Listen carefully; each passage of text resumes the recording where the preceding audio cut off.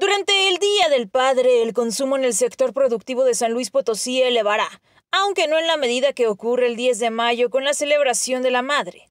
El presidente de la Cámara Nacional de la Industria de Restaurantes y Alimentos Condimentados, Eduardo Casís Chevaile, explicó la diferencia en compras. Quiero que te des cuenta que las tiendas departamentales en ciudades como en Estados Unidos, para las mujeres existen cinco pisos de, departamento de damas y los hombres compartimos el único piso con calzado.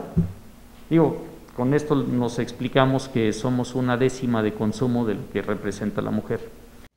Aclaro que los papás no solo festejan el domingo que tradicionalmente se indica, sino sostienen diversas reuniones. El padre, que va a festejar desde días antes, se juntará con sus amigos, se juntarán. Entonces vemos un gasto disperso.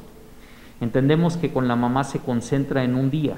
Por su parte, el presidente de la Cámara Nacional de Comercio, Juan Servando Branca Gutiérrez, comentó que los productos que podrían tener mayor demanda para obsequiar a los papás pertenecerían al departamento de electrónicos.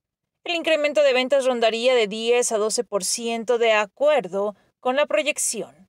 son estas cápsulas eh, de oxígeno puro para el comercio establecido en lo que vamos avanzando con el semáforo y que vamos incrementándonos eh, eh, en, la, en la situación de, de las ventas y, de, y de, del flujo también de cliente clientelar, ¿no?